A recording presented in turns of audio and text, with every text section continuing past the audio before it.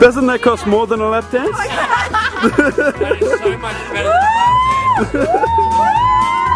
I paid at least two US fifty for that. You can leave your hat on.